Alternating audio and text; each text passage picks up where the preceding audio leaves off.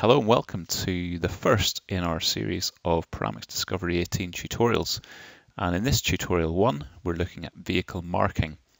So I've got a model open here and in the Visualize tab and the Visualize menu, I can select the vehicle marking panel.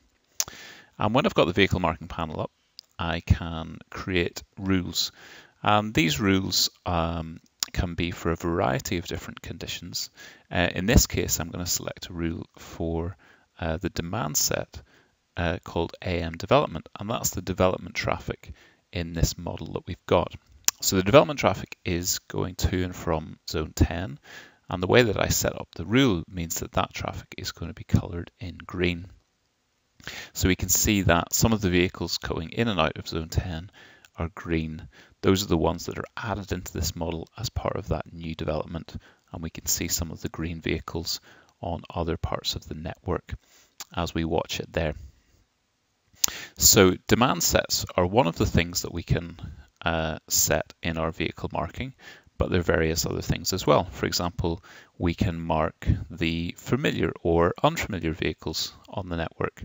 So in this case, I'm looking for uh, vehicles that are in the development traffic but are familiar. So it's going to be a smaller set than the first one. And when I select a vehicle, you can see that the familiarity says yes, so that's a familiar vehicle. We could do the same for unfamiliar as well. Let's create another rule. We'll color the vehicles red in this case.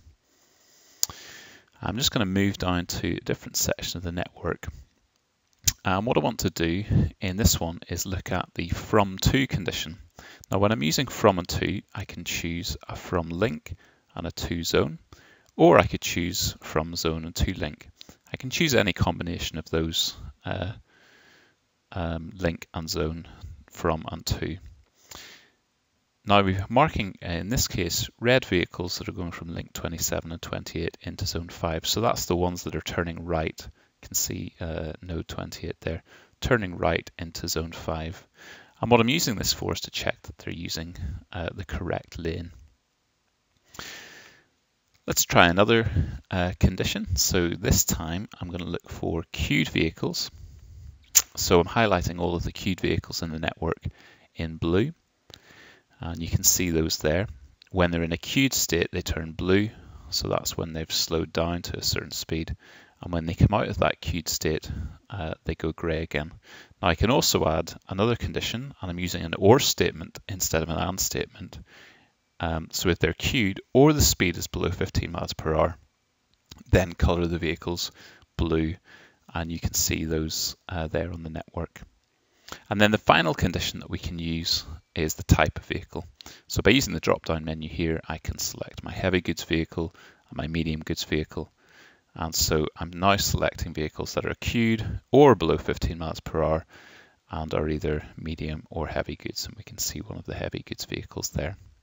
So there's lots you can do now in Paramics Discovery with vehicle marking uh, using all of these different conditions and also combining them uh, using AND and OR statements. Thanks for watching. Uh, I hope you found this tutorial useful and you enjoy using this feature.